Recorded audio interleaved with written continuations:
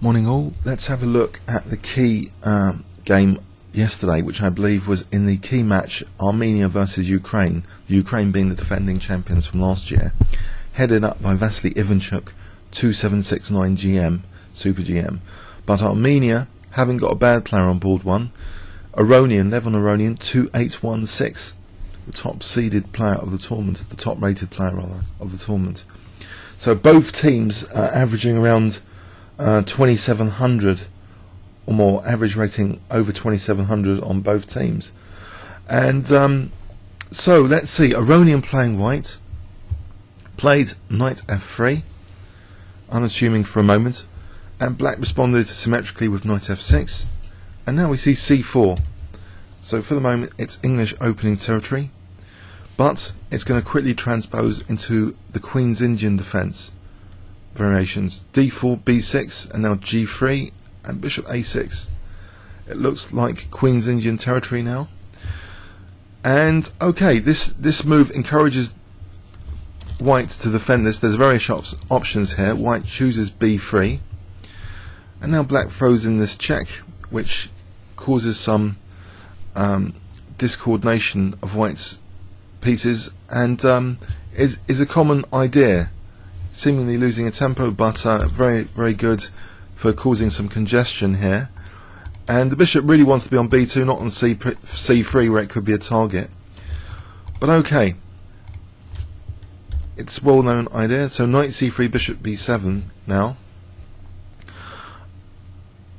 Okay, and white continues bishop g2.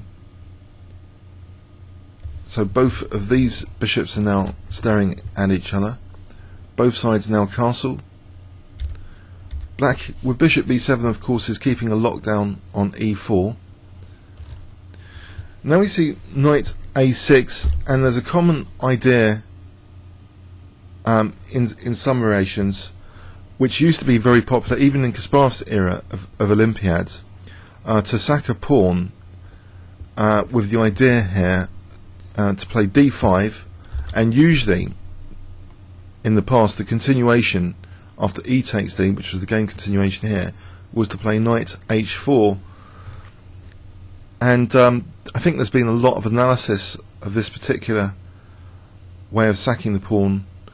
And um, black is often playing moves like this, uh, securing d5 and getting some sort of compensation if you remember on this channel, there was there was a classic Kasparov Olympiad game where he, he had loads of pieces around White's king, around Black's king as a result of this pawn sack. Um, now, was was this actual line with d5 uh, a bit risky for Black even to allow in principle? Well, actually, um, when we saw Bishop b7 here, I believe there might be an option just uh, to put pressure, more pressure on c4 so, for example, I think if castles, okay, say say white plays bishop g2, then I think d5, and I think this is a known Queen's Indian position as well, which might be a little bit more solid in that respect of not even allowing white uh, the pawn sack idea for d5. So is this idea dangerous here? Um, well, and how and how exactly will it be used? The surprising thing for me is actually it's not used with the idea of knight h4 here. So that's the more common treatment I, I would have I would have thought. But actually the move knight d4 is played. So it's still setting up this pin on the diagonal.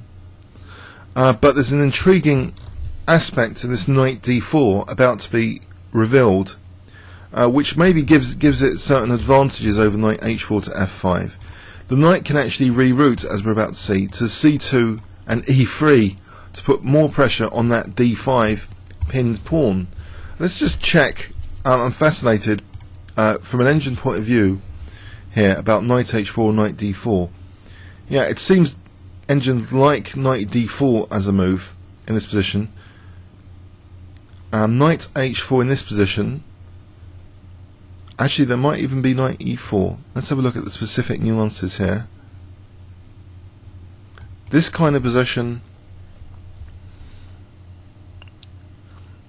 might be in some way different to um, to the usual positions where d5 and knight h4 is played. Okay. Let's have a look at this variation. Black might be doing fine here uh, with the knight on f5 as a sort of tactical liability. So we have we have some major differences for the way this pawn has been sacrificed. Um, so if we go back to knight d4, okay, let's turn that off or stop it out. So bishop c5, which, okay, bishop c5 does actually neglect against a potential pin here, which could be damaging to black's pawn structure.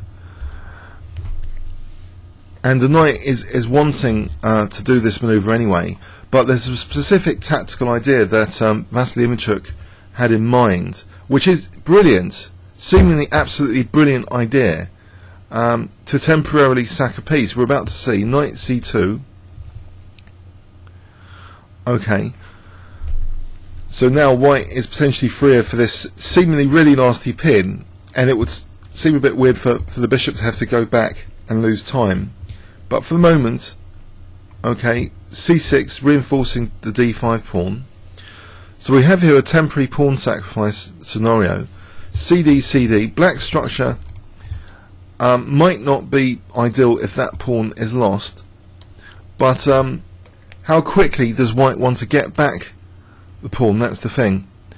Um, sometimes the the timing, you know, taking time to get back material gets more more yield for the for the sacrifice. So bishop g5, that nasty pin, and okay, let's see. What if you know black um, goes bishop e7? We need to be testing bishop e7, but for the moment, this pin um, is putting immediate pressure now on d5. Uh, bishop e7 here, you might think, well, it might actually be defensive if it comes back on this diagonal. The move in the game was knight c7, but let's check bishop e7 in this position. Is there any other better moves than knight c7? Bishop e7 might be a viable alternative, apparently. Um, White doesn't want to be too forceful here, but if he goes knight e3 and then just collects his pawn back, in fact, even here, even an engine doesn't have a rush to take the pawn. It's, there's going to be um, it's, it's not actually going to be possible here because of knight takes d5 anyway. If you take the pawn here, knight this this this rebounds tactically on this diagonal because of this knight takes d5 tactic. So here though, a pawn down, but um, a lot of pressure. And now here's here's the time when this diagonal has been sorted out this pawn can be recaptured with advantage to white and control of d5. And this iron, you know, knight on d5 with iron grip is is beautiful uh, yield for the temporary pawn sacrifice for white to have a very nice positional advantage.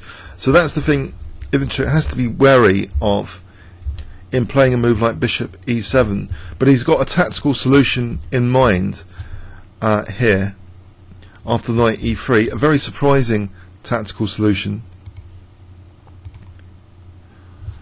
So I wonder if you can guess it. So we said this pawn is pinned to that bishop on b7, but um, guess what black plays here? In any case, if I give you 10 seconds.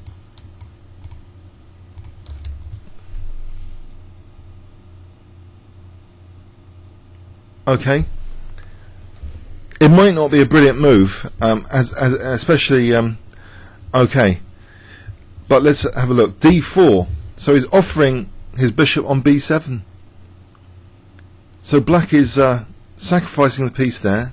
And of course, he's got the knight's fault. After bishop takes B7, rook B8 is now played, leaving three pieces attacked. But uh, white can do something horrible uh, now to black and maintain uh, the spirit of, you know, maintain another pawn sacrifice.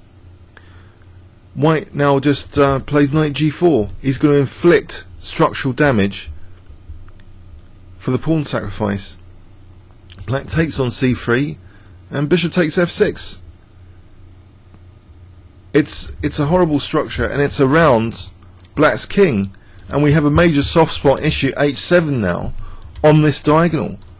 Black hasn't got the light squared bishop. So this bishop returning back to this diagonal is going to be dangerous with, with immediate threats like queen d3 when this happens. So this is really now very dangerous for black's king safety as well as the structure being a bit wrecked. So pawns, pawn counts, 3, 4, 5, 6, 7, 1, 2, 3, 4, 5, 6, yep. White is definitely a pawn down here but with brilliant compensation. Bishop e4. He controls the light squares. And okay, the knight supports d5, and this this pawn could be supported, but white still has this very dangerous now diagonal after bishop c2, immediately threatening queen d3, just winning on the spot. So black has to do something about this. Um, you might think, well, what about king h8? Doesn't help. This this battery is so powerful here. It just it's just mating. Nothing can defend here, h7. King g7, another try, hang on a sec, for rook h8. And actually we need to check this one. Okay, so bishop c2 was played here. And Ivanchuk tried f5 actually, but was there any other defense? Okay, let's let's check here. King g7 as a try. f5 is given as, as, as one of the um, stronger moves. King g7. It gets blasted with queen c1. Dark square attack on h6. So it doesn't matter about rook h8. You just play check, and then you play knight takes f6, winning black's queen. Crushing. So queen c1, a killer move here. Although the pawn's guarding d2, the queen can slip to c1 to get that immediate attack on h6. So it's very, very unpleasant black's king safety aspect here after bishop c2. How can black deal with this? This structure, this pawn sacrifice seems totally and utterly uh, justified now. So black plays f5 and he hopes to make white's pieces like loose here as many of them as possible with this as well as defending h7 so what way to take on f5 or is it going to be ignored well, actually, the game continuation is knight h6 check. I believe that is a lot stronger than bishop takes f5. Uh, I think bishop takes f5 might run into queen g5. Let's have a quick check. So engines like knight h6, bishop f5, queen g5, and these pieces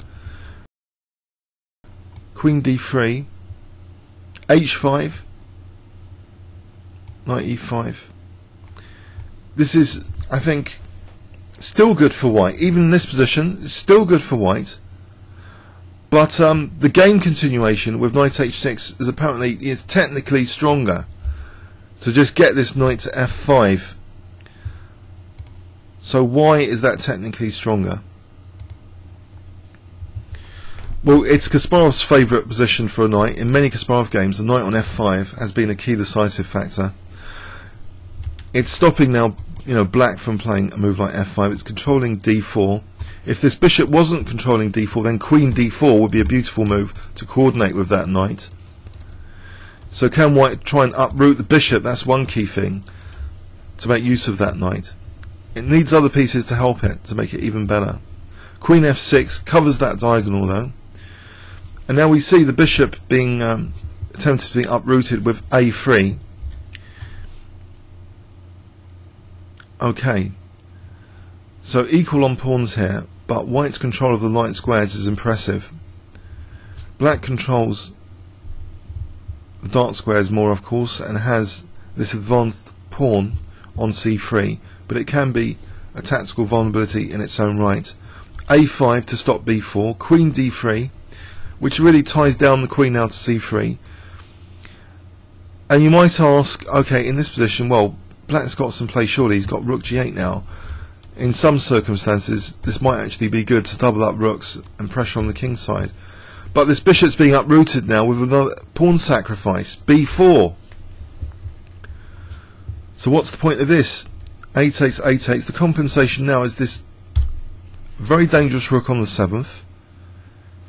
The knight goes to a central square. It seems attractive enough. Knight e6 introducing things like knight g5 maybe, knight f4, knight c5. It looks quite dangerous in some respects.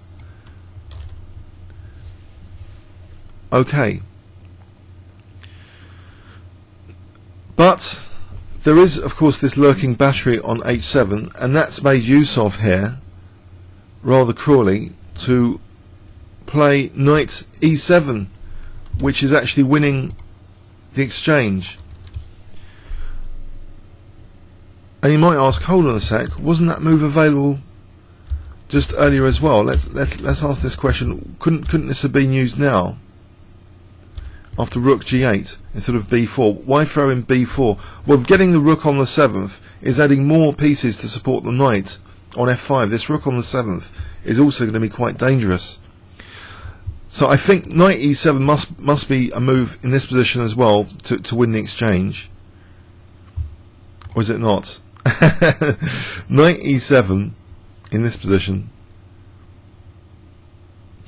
No, it's rook g7. Doesn't win the exchange at all. So what what changed there? Queen d3. Here, after knight e7 here. Is is there rook g7 as a move? No because of knight takes d5 here. And that's one other point. This bishop's now loose, and we have this almighty knight fork winning material. So that's the key difference. That knight e7 has been made a lot more effective for two reasons. The bishop's loose on b4 as a tactical target for knight e7 takes d5, forking queen and bishop, and the rook, of course, is joining the party. So this is just winning exchange now, knight e7, because of this threat of knight d5. Rook g7 is not available. Okay, queen h7 immediate threat of mate. So that's parried with queen g7. So black's the exchange down now. Okay, for a pawn.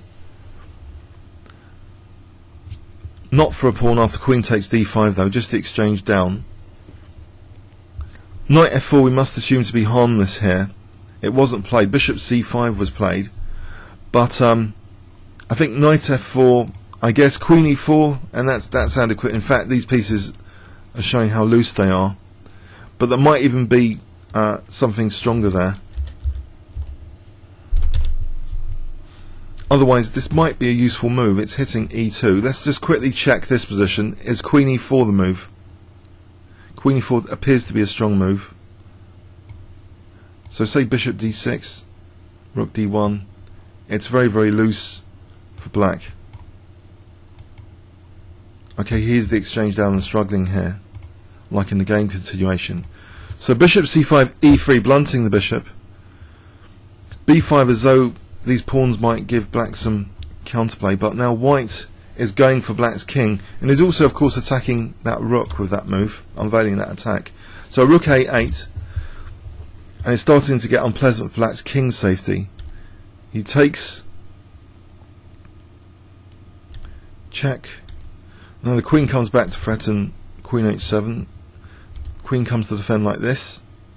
And now rook a1 coming to that first row to pin or do other damage. So check Nope, not check. Rook a5 first. So what's the idea of rook a5 as opposed to rook a8 check? That's very interesting as well. What is going on here for rook a5 to be a strong move? Let's just check the, the effectiveness of rook a8 compared to rook a4 here. Rook a8 is liked by engines anyway. In this position, queen takes b4, and that's, that looks pretty strong, convincing. Rook a5.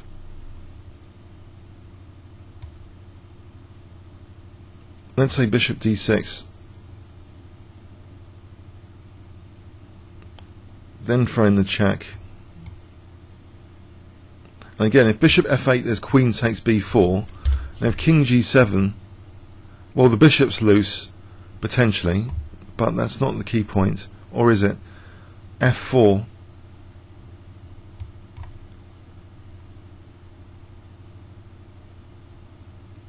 And this, this looks uh, very good for white.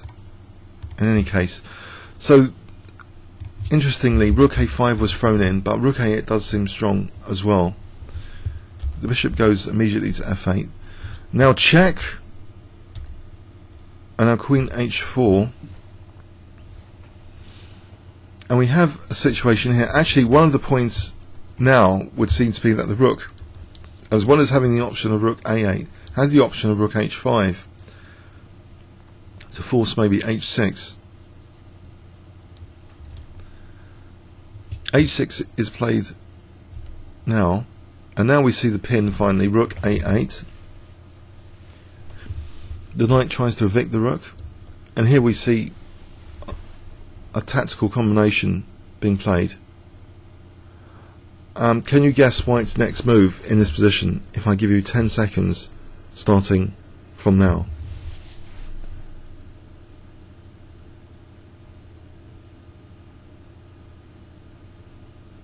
Okay, the hard part is is, is the follow up as well as as the initial move. If you know the follow up, that's if you can work out the follow up for this, it's brilliant.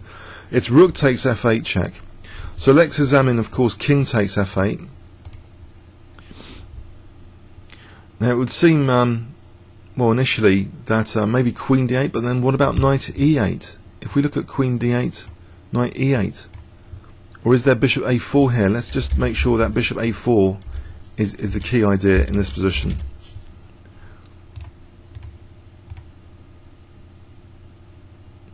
In fact, queen takes b4 is given us stronger to pick up the knight with queen b8 check, potentially. So queen d8 might not actually even be a strong move. Okay, hang on. I think it is though. Knight e8.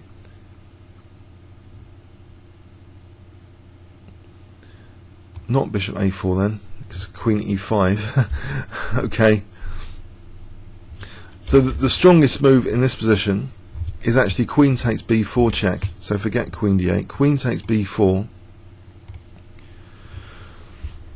And okay, so if king j, I think it's clear enough that queen b8 check is the idea here to pick up the knight. And what if the king uh, tries to like come and save the knight? Then we have bishop a4 check here queen b8 picking up the knight like this and that looks really bad for black it's actually a forced mate here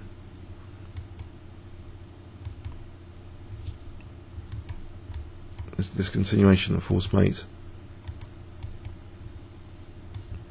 um, so the king so that's why it's not to do with queen d8 it's with queen takes b4 so a cunning tactical combination here that this is actually very bad for black.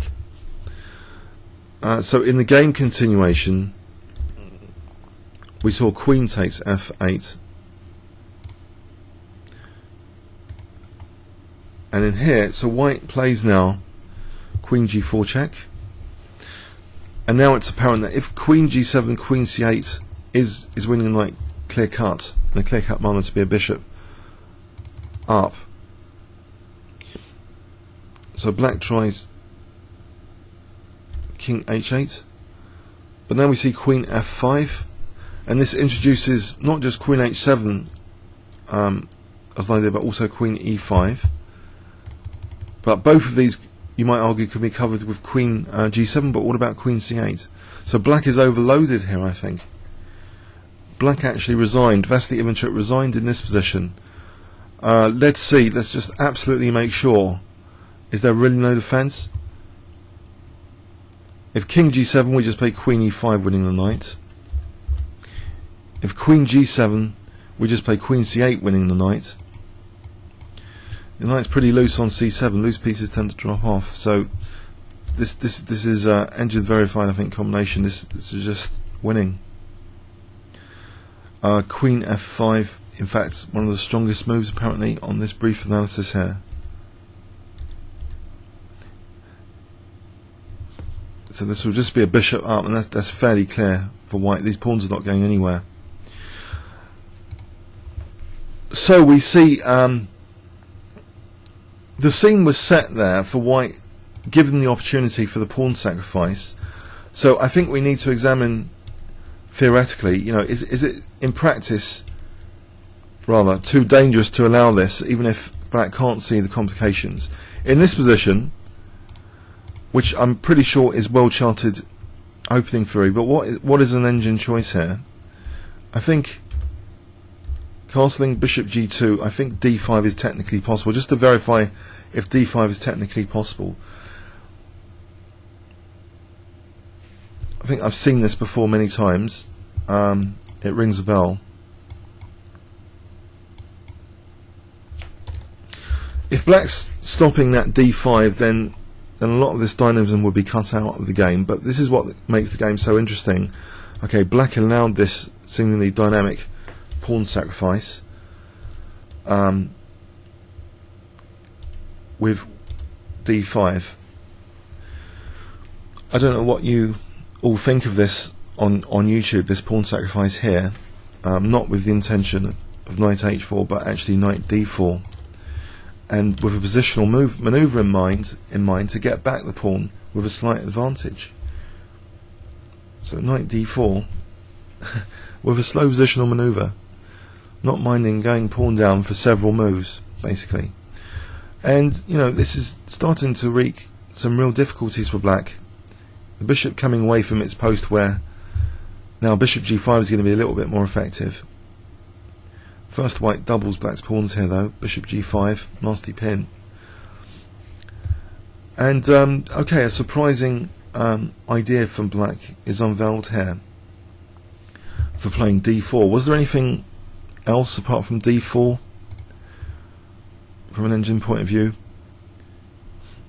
h6 96 or bishop e3. D4 is not really it's not really mentioned. It seems to give white an advantage from an engine point of view.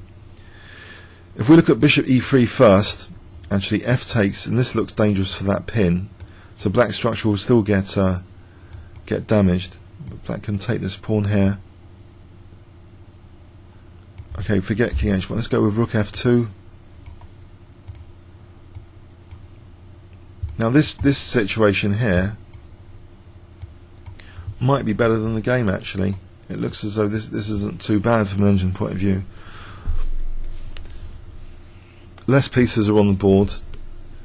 Um, that looks like a nasty pin for white to be in at the moment. The, the queen's going to have to be exchanged off at some point. So that that was that was fine. So I wonder about this bishop takes e3. Just briefly on brief analysis, bishop e3 has it got a lot going for it? Would white really take on e3 with the pawn? What about bishop takes e3, just, just maintaining a pawn down? Is this position that harmful?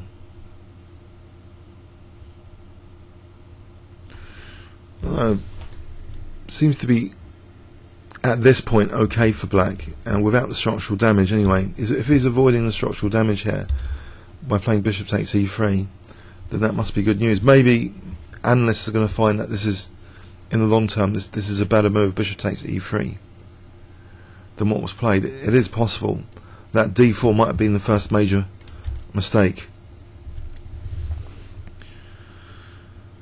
Um,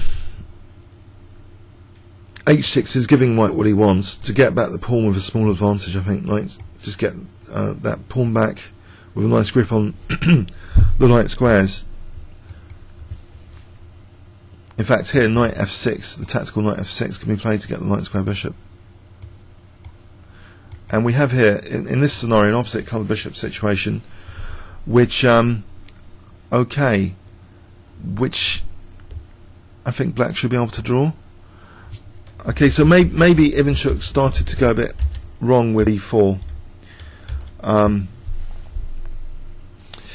it, it it's leading to structural damage in the game continuation around his king, which is proving to be very dangerous here,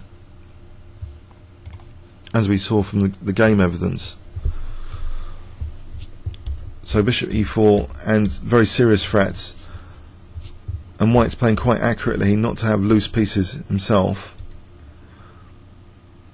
And he's making basically knight e7 very effective now with this b4 Knight e7 here is answered by rook g7, so he's not winning anything there. Apart from maybe if he wants to get his pawn back potentially. But um, no, he's he's making sure he's winning the exchange here with knight e7 coming up now at this moment. Knight e7.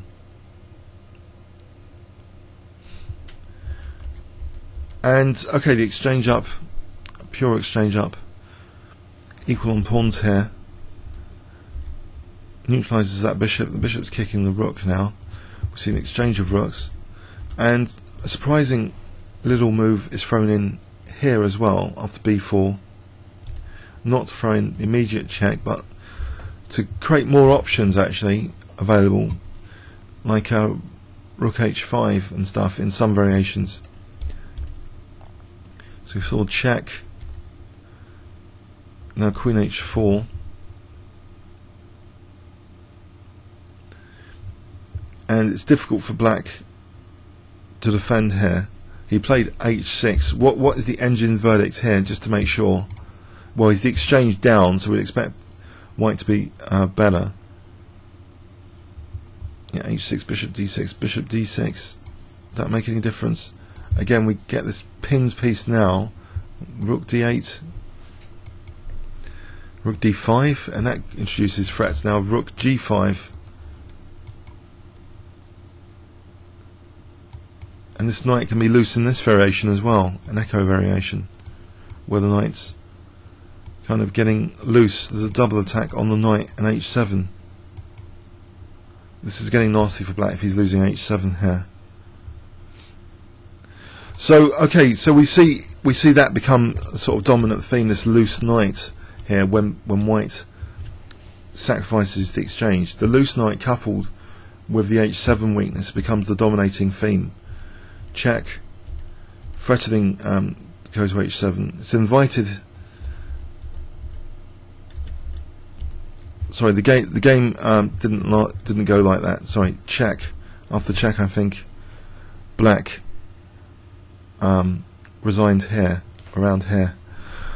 Okay, I hope um, you got something out of that game.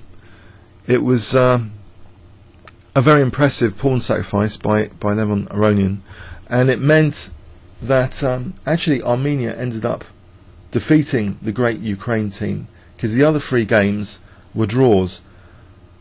Um, Movsesian 2698, he drew with Ponomariov of Ukraine 2734. Akopian of Armenia drew with Volokitin. So Akopian 2687 drew with a slightly higher rated uh, Volokitin 2709. And on the bottom boards we had two players, both exactly the same rated at 2693. Sargissian drew with Eljanov on bottom board 4. So Armenia not uh, got the got the match point there against the great Ukrainian team. Congratulations to Armenia and to Levon for this very interesting game, and also of course Ivanchuk for his enterprising, uh, dynamic, exciting play. Comments or questions on YouTube? Thanks very much.